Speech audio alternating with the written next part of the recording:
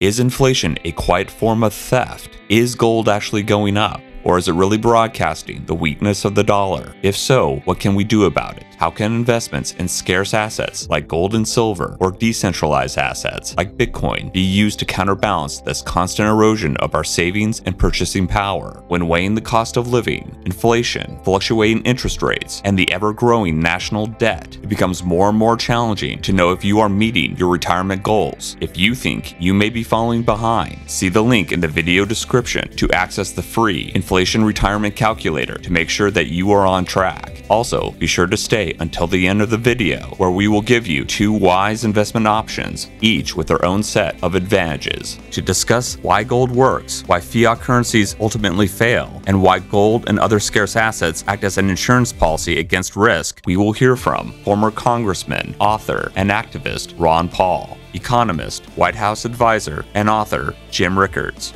economist and investor Keith Weiner, and former Congressman and activist Mark Finchem. When this Morgan silver dollar was minted by the US government, it was a dollar, one dollar. Today, this same coin is equal to $20. And I think that we have all, since childhood, heard about the idea of inflation. What the IRS has figured out at the federal level is how to tax inflation as a gain. They call it capital gains because they want to say that you buy this with this. The truth couldn't be any further than away from that position. This is an exchange of one type of currency for another. Actually, it's a conversion of one type of currency for another because of a lack of trust.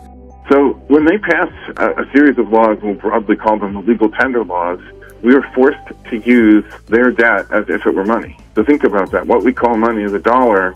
It says Federal Reserve note on the dollar bill, bill being uh, an old word for credit and note being the word for credit promissory note. We're using their debt as if it were money. Now, FDR did this in 1933 when he made gold illegal to possess, as in criminal, as in go to prison for possessing gold, the way, the way it is for cocaine today. When he made it illegal for people to possess gold, that forces people to treat the government bond as if that was a conservative risk-free asset. In fact, if you ask any regulated financial professional today, what's the risk-free asset, they'll say the government bond. And so it forces everybody to turn to the government and, and become a lender to government as if that was a risk-free proposition. And of course, uh, I think it's probably pretty well known that the Federal Reserve, right on their website, says that their stated policy target is 2% debasement per annum. So you're forced to save in this, in this paper, and they have a monetary policy of stealing 2% per year. And so I, I called it immoral because, first of all, you have no right to force people to use something. And secondly, if you do force them to use something, you have no further right to then try to rob them at 2% per year. There's been this quiet theft going on over time. You'll notice the document that has a house, has eggs, has hard money, and then has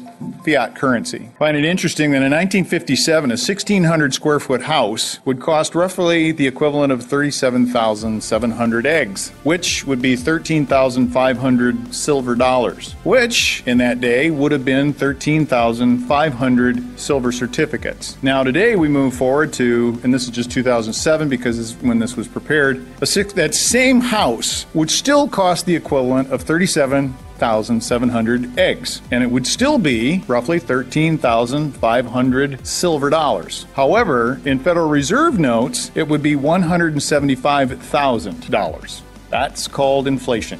So when somebody takes that $13,500 in silver dollars and exchanges them for Federal Reserve notes, the IRS says that that's a taxable event. Of course, from 1933 to 1975, it was illegal for Americans to own gold. It was like drugs or finally in 1975, the Ford administration repealed that so Americans could own gold.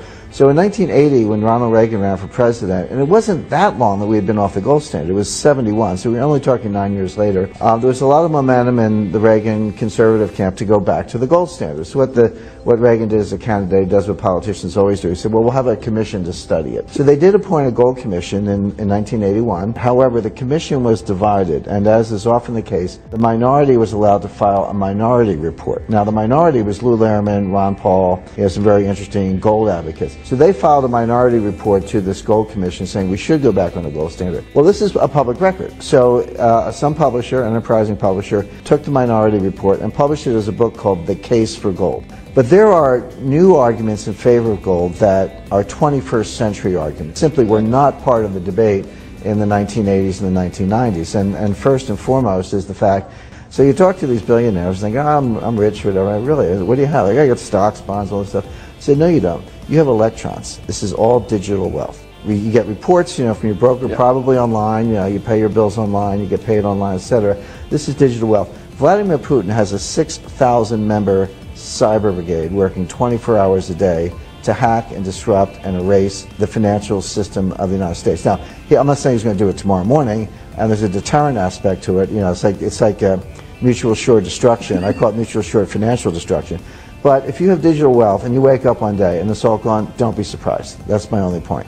So you need some tangible wealth. That obviously gold, I would say number one. It's not the only tangible asset. Silver, land, real estate, fine art. There's a list of uh, tangible wealth, and not all in. You know, I kind of recommend 10% gold, but so there are there are new arguments to put on the table side by side with all the old arguments that we're all uh, familiar with. Gold and silver is money. Money is different than stocks and, and bonds, and money's been different. You shouldn't have to tax money. And actually, paper, Federal Reserve, is just not money. It's a substitute for money, and it's fraud. What's happening? It's a hidden hidden tax. This, this is the reason the monetary issue is so important to me because ultimately, if you want to protect liberty and the size of government, you have to have honest money.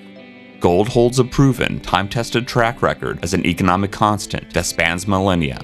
Why is it important to have an economic constant? What is the main question every person planning their retirement or building a business needs to ask themselves? Are we growing wealth or losing wealth? And how do we measure this? Gold is that tool with a 5,000 year record that has withstood every economic business cycle, stock market booms and busts, global conflicts, and outlasting every faith based fiat currency. Gold is no one's liability. It builds wealth while preserving it. Owning physical gold and precious metals requires responsible sourcing of grades, purity, condition, the best prices, transparency, and most of all, security and storage. Gold IRAs are a tax deferred means of owning physical gold and ensuring all these investing principles are met. We have reviewed and vetted the best gold IRA companies that meet all these requirements. See the link in the video description to access the free gold investment guides. An often used criticism for holding gold is the opportunity cost of gaining yields elsewhere, such as bonds or high quality equities. Monetary Metals is a gold investment company that unlocks the productivity of gold by offering a yield on gold paid in gold. Monetary Metals delivers interest on gold through the company's gold fixed income investments, which aim to provide a fixed return with low risk of loss. This provides investors exposure to gold's unique attributes, plus a real yield that grows your total of gold ounces held. To learn more about monetary metals and their innovative investment products, see the link in the video description. If you enjoyed this video content, be sure to like and subscribe so you don't miss our next video. If you have 100K of retirement savings to protect and want to take advantage of the best gold prices, see the link in the video description to sign up for the free Gold and Silver Web Conference hosted by Augusta Precious Metals. Thank you for watching.